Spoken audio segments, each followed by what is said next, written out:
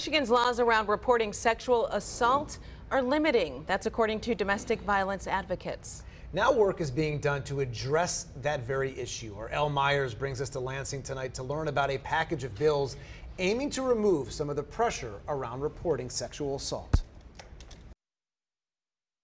The Michigan legislature has its sights set on changing the way our state deals with sexual assault cases. More specifically, expanding the time frame for people to come forward and report up to age 52.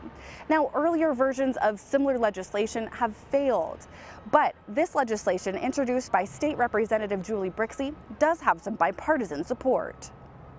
The average age a child sex assault survivor discloses their abuse is 52. Let that sink in. Experts call that delayed disclosure, and it's pretty common. And delayed disclosure combined with our state's archaic statute of limitations law allows 86% of child sex abuse to go unreported. One expert tells me this package of bills would help improve current laws and address some misconceptions. The laws as they were before weren't recognizing that for most survivors of sexual violence, reporting right away isn't the norm.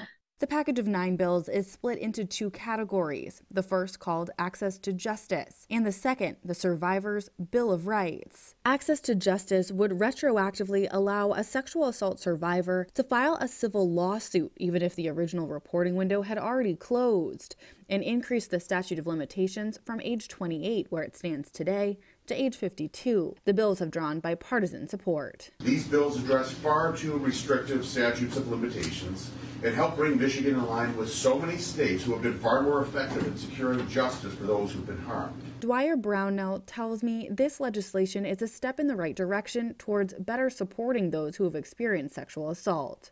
By extending those those deadlines where they could uh, file a lawsuit, it's really coming more to term with what the reality is for survivors of sexual violence, which can help ease a lot of that self blame, that guilt of not reporting.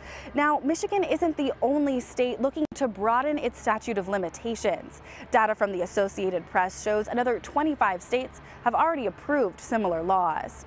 For now, reporting at the Michigan Capitol, I'm Elle Myers, CBS News Detroit.